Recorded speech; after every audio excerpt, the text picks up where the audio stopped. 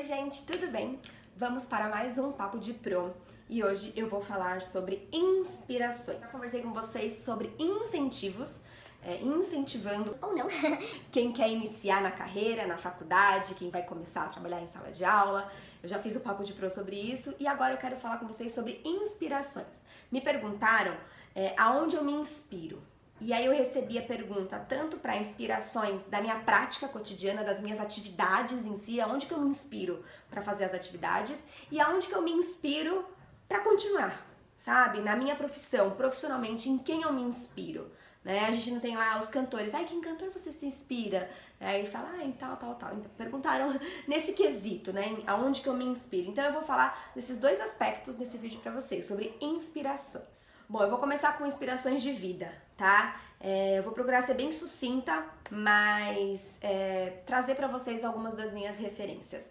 Eu acho que a minha maior referência, eu tenho duas grandes referências na minha vida, mas as, a maior, assim, é a minha mãe. Vocês sabem, eu sempre falo dela aqui. Minha mãe é professora também, é, foi professora a vida inteira e sempre trabalhou muito, passou por diversas escolas, diversos cargos, fez de tudo um pouco, né? É, trabalhou com diversas idades e tem uma experiência muito vasta em toda a área da educação.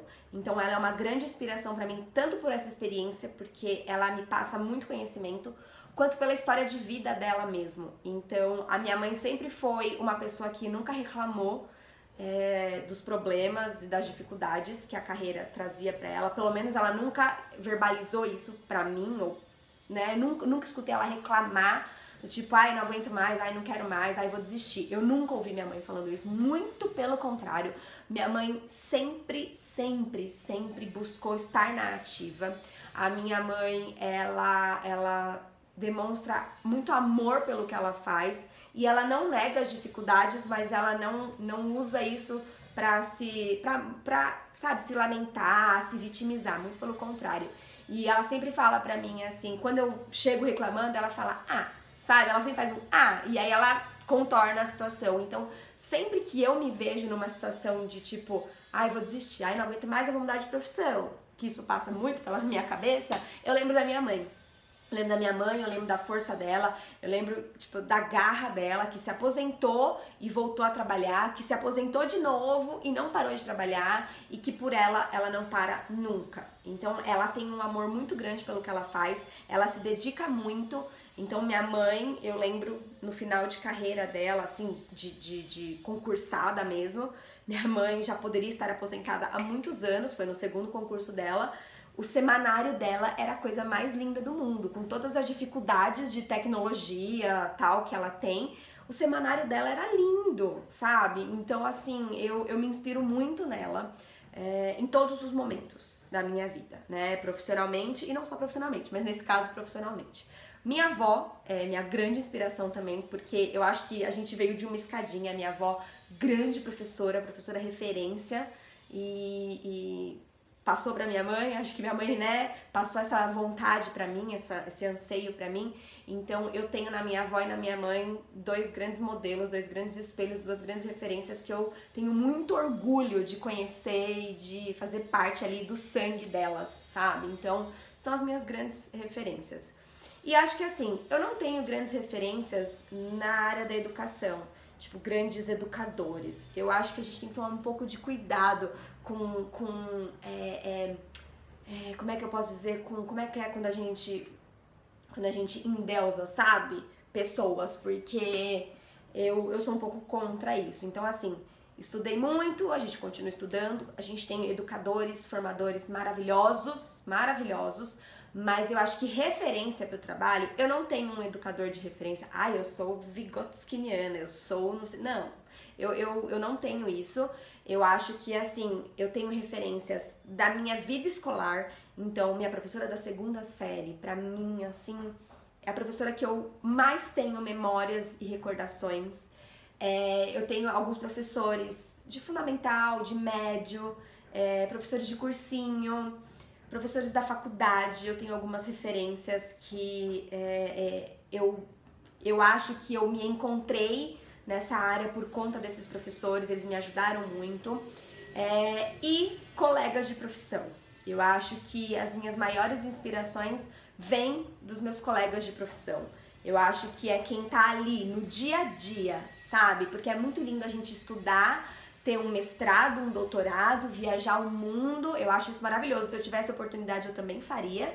Mas eu acho que o, o, o chão da sala de aula, o, sabe, o dia a dia ali mostra, sabe, a gente consegue se inspirar. Então, assim, eu tenho muitas inspirações de colegas, de amigos de trabalho que a gente compartilha muitas ideias, a gente compartilha também as nossas dificuldades e isso acaba deixando as coisas um pouco mais suaves, assim.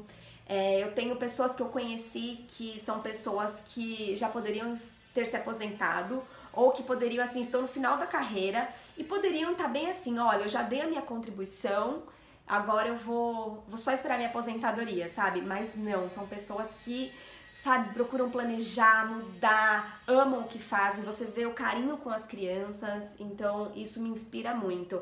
É, e, por exemplo, agora esse ano, na escola nova que eu entrei, eu já achei algumas inspirações e é muito legal porque às vezes você chega cansado já, você já chega meio assim, porque você fala, ai meu Deus, hoje eu não queria vir. Aí você encontra aquele professor, aquela professora, você vê a sala de aula dela, você vê um planejamento dela, você fala, uau, vamos lá, sabe? Eu vou, vou, vou, vou seguir, vou seguir. Você acaba se empolgando, sabe? Então eu tenho muitos, muitos, muitas referências, né? E também tenho referências negativas. Conheci muitos colegas de trabalho que eu não sei o que estão fazendo na área da educação, dentro de sala de aula, é, numa gestão, conheci, e isso é uma referência para mim do tipo, tá, isso eu não vou fazer, sabe? Então a gente também tem esse tipo de referência. E agora falando de referência, de inspiração pro trabalho ali no dia a dia. Eu acho que a minha maior inspiração é a turma. Então, é sentir a turma. Eu acho que a essência de tudo é você sentir a turma. Eu acho que você consegue é, é, entender um pouco do que, que ela precisa, do que, que se encaixa melhor naquela turma, do que, que vai, do que, que não vai naquela turma. Então, o que, que me inspira é olhar a minha turminha, as crianças. Eles, eles jogam muitas ideias, então eu acho que é, é ajuda a inspirar. Então, por exemplo, eu fiz, eu fiz uma roda e a gente montou o painel de expectativas desse ano. E aí um deles falou: Ah, eu quero fazer bolinha de sabão. E aí eu lembrei que eu aprendi o ano passado a fazer técnicas de bolinha de sabão diferentes. É, eu, eu, lembro que tipo, foi muito divertido. Eu descobri que foi muito divertido fazer no parque. Eu falei, pronto, eu já posso trazer isso. Não só a bolinha tradicional, eu posso trazer isso também. E aí a gente pode trabalhar com questão dos materiais que são utilizados, aonde mais a gente usa esses materiais. Enfim, dá para trabalhar uma infinidade de coisas. E disso vai surgindo a criatividade, entendeu? É, mas também eu me inspiro muito em algumas coisas da internet. Eu acho que assim, eu brinco, mas é uma brincadeira que tem um fundo de verdade, que nessa área da educação é, a gente copia e copia sim. Eu acho muito bacana quando alguém vem pra mim e fala assim: Nossa, eu adorei isso que você fez com essa turma, vou fazer também. Faça! Isso é muito legal quando alguém viu uma inspiração, viu uma atividade e achou muito bacana e fez com a turma. Às vezes muda alguma coisa ou outra ou não, faz da mesma forma e aquilo tem significado para ela e para a turma. Então eu acho muito legal. Então eu acho que nessa área a gente copia sim. Se o negócio é bom, a gente copia. Às vezes a gente pode fazer algumas adaptações, mas a ideia a gente acaba copiando. Então eu tenho algumas referências aqui na internet. Eu gosto muito de pesquisar no Pinterest algumas ideias. É, tem alguns perfis que eu sigo. Lá no Papo de Pro, eu sigo alguns perfis da área da educação. Então, é, eu me inspiro muito em algumas atividades. Eu até já marquei alguns perfis do tipo, ah, fiz essa atividade e me inspirei em tal. Porque é, eu acho que são atividades bacanas. E aí eu vou salvando, eu sempre salvo no meu celular e aí eu vou reproduzindo com as minhas crianças. Pinterest eu uso bastante. É, eu só não sou aquele tipo de professora que é, é, sai fazendo todas as atividades, que sai fazendo EVA, recortando, nananana. não. Eu sou o tipo de professora que eu prefiro uma ideia simples e que seja feita com a criança. Eu prefiro uma história bem contada e um registro feito pela criança do que eu montar um monte de máscara para as crianças decorarem depois da história, entendeu? Então, assim, eu sou totalmente contra ficar fazendo coisinhas, sabe? Produzindo coisinhas. As únicas coisinhas que eu produzo é placa de rotina, placa de nome, essas coisas assim. Agora, ficar fazendo coisinhas, eu sou contra. Eu não gosto muito desses perfis que ficam postando um monte de. Ai, fiz este balão para uma atividade, fiz este coração para uma atividade. Eu não gosto, tá, gente? Porque eu gosto do da criança colocar a mão na massa. Não vai ficar um coração lindo, brilhoso, né, mas vai ficar o coração da criança. Então eu prefiro muito mais a ideia da criança do que a minha a minha confecção ali, sabe? Então eu me inspiro muito em, em pessoas que fazem isso. E às vezes, por exemplo, vai, eu já vi alguma atividade que o perfil fez um monte de EVA, tá, tá, tá, eu falei, nossa, essa atividade ficaria legal fazendo pela criança dessa forma, entendeu? Então a gente acaba também se inspirando um pouco, só que adaptando para o nosso estilo de trabalho, né? Então é, eu tenho alguns perfis que eu me inspiro e mesmo assim, assim, ah, eu sigo aquele perfil. Não é tudo que aquele perfil faz que eu concordo, que eu faço e que dá certo para mim, mas algumas ideias eu acabo pegando. Então Pinterest, Google e Instagram. Me inspiro em vários, vários perfis. Eu acho que acaba me ajudando para fazer algumas atividades. Mas as trocas de experiência com as professoras também, do meu, da minha escola, do meu grupo de, de convívio, me ajudam muito e eu acho que isso vai dando criatividade. Eu não me acho uma professora criativa, uma professora que, nossa, tem ideias mirabolantes sabe? Não, eu acho que assim, eu me deixo levar pelo planejamento e aí eu vou pensando e aí eu vou tentando articular com o real da turma, com a necessidade da turma e aí eu vou bolando algumas ideias. Às vezes elas são ideias super simples, mas que dão certo e fazem muito sentido para as minhas crianças, e às vezes é uma ideia um pouco mais assim, que demanda um pouco mais de tempo, e mas também tem significado. Então acho que isso que é importante, é ter significado. Não adianta você ficar levando para casa um monte de EVA e cartolina para cortar, se você vai chegar com a atividade pronta para criança e, né, só para mostrar que tá bonito. Eu prefiro muito mais a criança fazendo.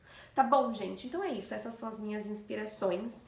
É, se você ficou curioso, curiosa, lá no meu perfil do, do, do Instagram, Papo de Pro, eu posto algumas atividades que eu faço é, e a intencionalidade delas.